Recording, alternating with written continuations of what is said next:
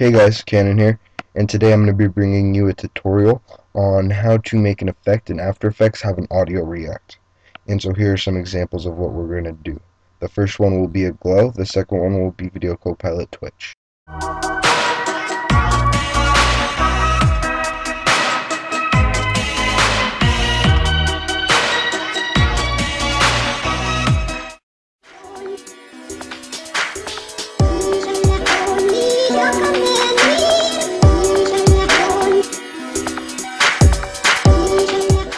Alright, let's go ahead and get started.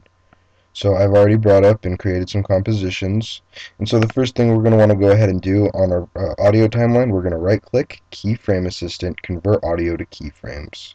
And so this is going to create different values for each of the different waveforms in the audio. And so the uh, after that, we're going to go ahead and uh, click on our audio amplitude. We're going to delete the right and left hand channel. We're not going to need those.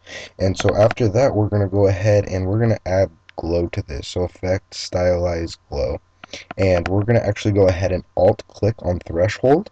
And then that's going to bring up our expression bar. And so the first thing we're going to go ahead and do is we're going to actually parent, oh, hit U on the uh, audio amplitude so we can see the slider. We're going to actually go ahead and parent um, that uh, the glow threshold to the slider. And so now we're actually going to go ahead and hit asterisk, so shift and 8, and then we're going to hit 2. And so then that will multiply it, and as you saw in the preview, that's what, that's all it's going to be. Um, it's very easy to do. Uh, you can mess with the different parameters of threshold, intensity, everything. Um, I'm more making this just for the expression part, um, so you can you know get a grasp of how to do this, and then you can go make it your own and be creative with it. And so we're going to go ahead and do this with uh, Twitch now. Um, now Twitch we're going to do a little bit more work with the expression um, to make it so it's not, it doesn't affect it as much and only on the highest and lowest parts of the waveform.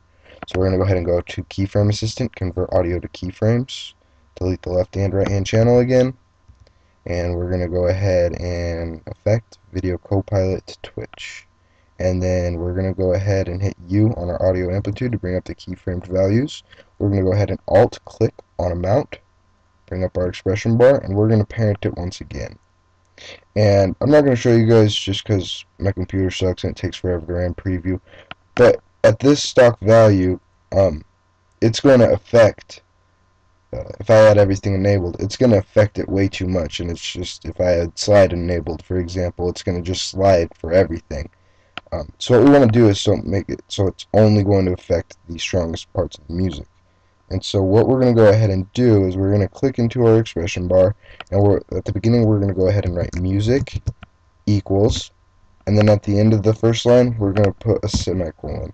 We're going to hit enter or return, and then we're going to go ahead and write linear, and then we're going to go ahead and put a parentheses, music, capital M uh, is uh, case sensitive, and then comma 30, comma 50, comma 0, comma 200, and then in parentheses.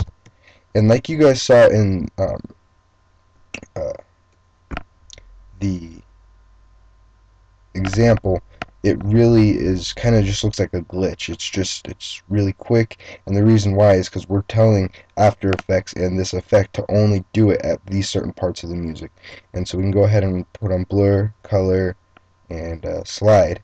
And then what I would do is go ahead and uh, operator controls, I don't know, color, bump that up to like 250 turn the slide down a little bit. And like I said, I'm basically making this for you guys to go just get a grasp of it so you can go and uh, make these effects your own.